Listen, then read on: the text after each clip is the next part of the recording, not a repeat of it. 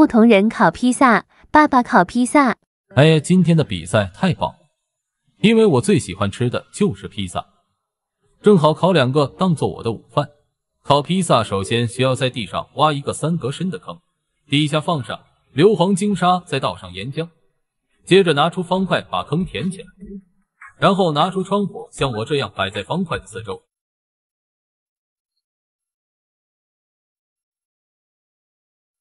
最后把里面的方块削了，放上披萨就大功告成。再等一会就有香喷喷的披萨吃了。妈妈烤披萨，我华他爸那烤的太慢了，我一次能烤很多披萨。现在就看我的表演吧。首先在地上叠三个方块，在这里放上转轴方块，前面再放上三个方块，接着拿出披萨摆在方块上面。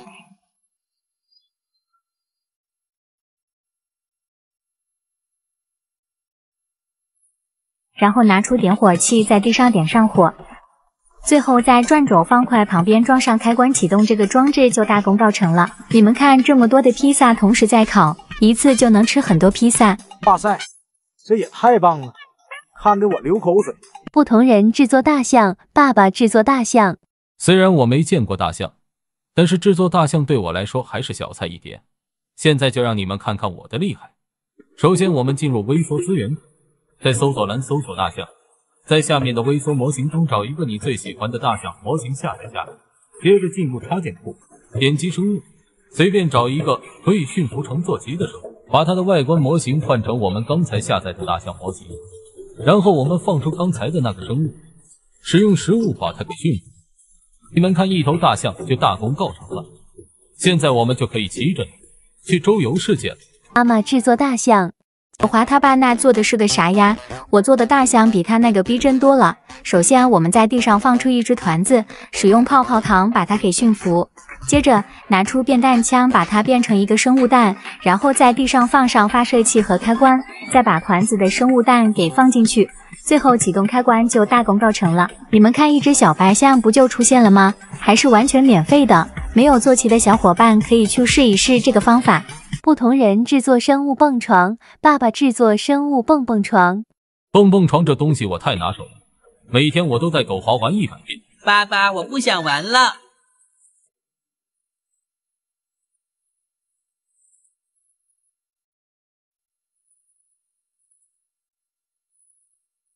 你们看，蹦蹦床就大功告成了。现在我们就可以让生物上去玩了。这野人上去玩的多开心呀！他在这上面玩一整天都可以。我要是没眼花的话，野人都无聊的睡着了。妈妈制作生物蹦蹦床，狗华他爸那做的蹦床也太普通了。我做的蹦床，boss 也能玩。首先，我们打开触发器，点击事件，点击生物，选择生物受到伤害，接着点击动作，点击生物，找到改变生物位置，这个位置需要放在半空中。然后我们打开工具模式。创建一只 BOSS 出来，放在半空位置不远的地方。最后我们转换玩法模式，随便点一下 BOSS，你们看 BOSS 就开始不停的上下蹦，像不像在玩蹦蹦床？不同人开箱子找东西，爸爸开箱子。今天这是啥比赛啊？在这里摆这么多箱子是什么意思？爸爸，这些箱子里有一个箱子藏着宝贝，让你把它给找出来。原来是这样呀，那我直接把箱子全打开一遍不就行了？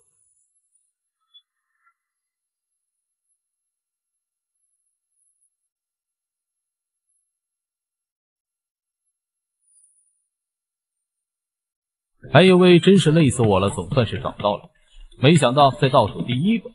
早知道从这边开始找了。妈妈打开箱子，我华他爸那方法也太笨了吧！找个宝贝哪需要这么麻烦呀？我的方法十秒就能找出宝贝。我们拿出方块复制器和火把，放在箱子的一个角。放好以后，我们再来到箱子的另一个角。在这里再放一个方块复制器，你们看箱子全都被破坏了，我一下就把宝贝给找出来了，是不是比狗华他爸方便多了？Nice。不同人制作会走的方块，爸爸制作会走的方块。今天这比赛也太简单了吧？制作会走的方块那不是有手就行，小伙伴们可要看好喽。首先，我们拿出滑动方块，在地上制作一个滑动装置。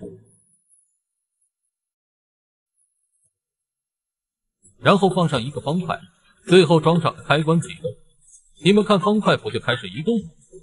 这不就是会走的方块吗？妈妈制作会走的方块。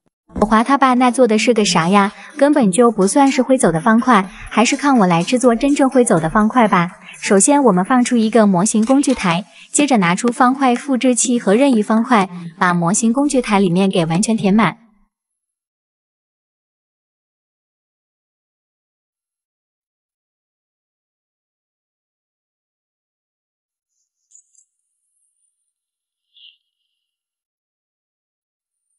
你们看，现在整个模型工具台就被我给填满了。填满以后，把它给生成出来，再拿出模型编辑器，把这个模型生成为生物模型。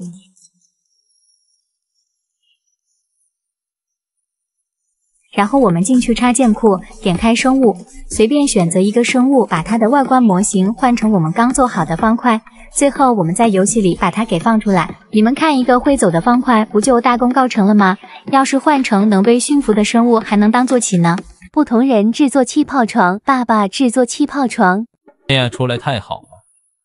国庆在家，狗华真是烦死我。爸爸，你再说一遍，我刚没听清。没有没有。狗华在家，我特别幸福。制作气泡床，首先需要在地上放一张床，接着把床底下的方块挑掉，放上两个发射器，在发射器里放上泡泡，然后在两个发射器旁边分别制作两个永动装置。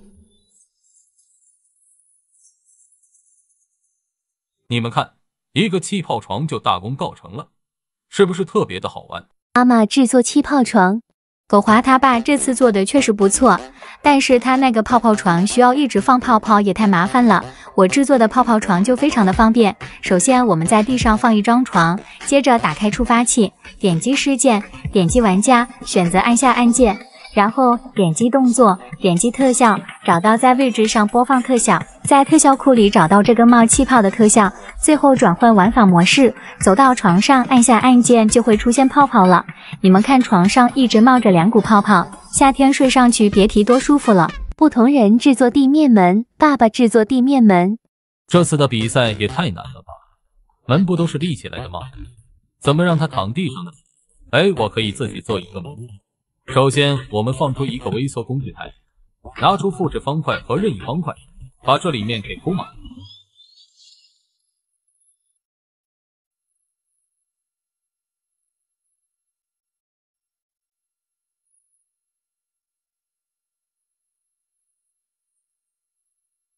铺满以后，我们再拿出另外一个方块做一个门把手，接着使用工具台把它给生成。不过这还没结束，我们还得再回到工具台里面，先把刚才的门把手敲掉，然后在这个位置挖出一个正方形的窗户。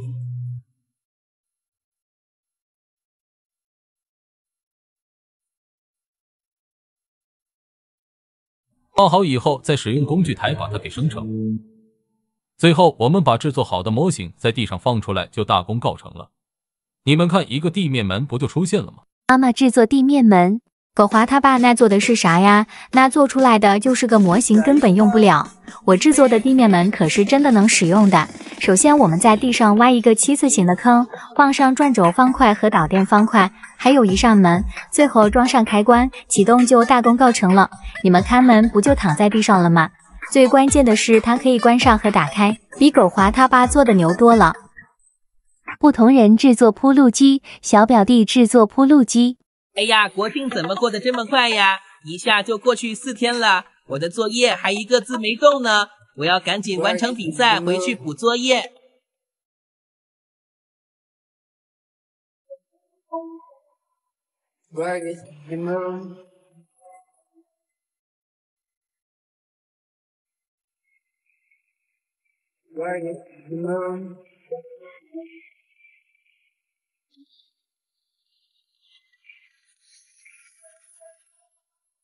When the day is finally fading into a dark blue. 你们看，我的铺路机就大功告成了。现在里面是岩浆，但是当我们走过去的时候，路就会出现，是不是特别神奇？宝华制作铺路机，小表弟是来搞笑的吧？有他那个时间，我早就叠方块过去了。还是看我来制作真正的铺路机。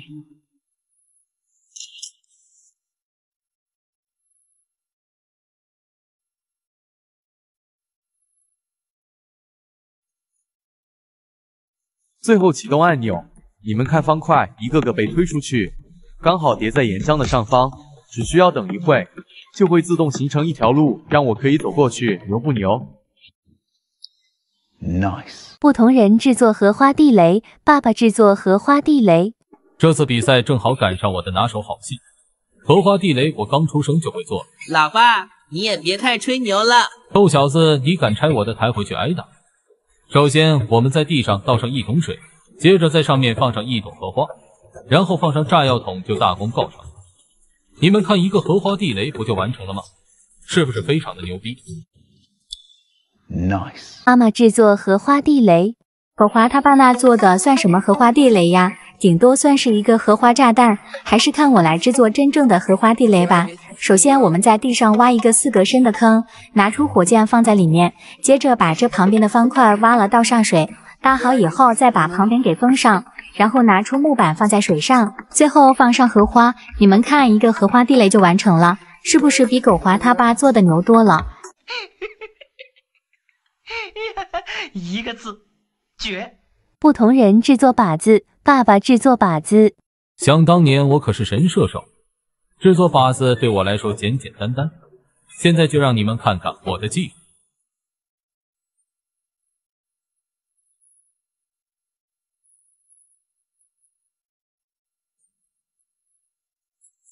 你们看，一个靶子不就大功告成了吗？我使用弓箭，轻轻松松就能射中靶心。妈妈制作靶子。狗华他爸那做的也太垃圾了，我制作的靶子保证他射不中。首先在地上挖一个三格宽一格深的坑，